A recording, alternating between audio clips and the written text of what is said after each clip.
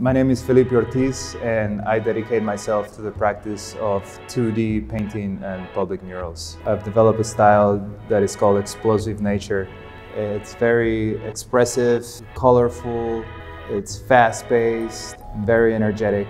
With this piece I wanted to represent a couple of things, uh, one of them being local birds. This one in particular is an eastern bluebird. I also wanted to explore and experiment a little bit with overlapping layers uh, using one point perspective.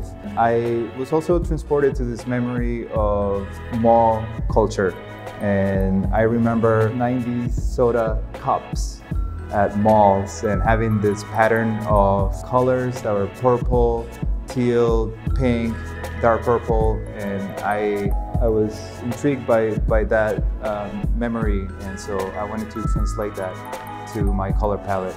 Uh, my goal is to transform the space, get them a feeling of, of being transported to a different space.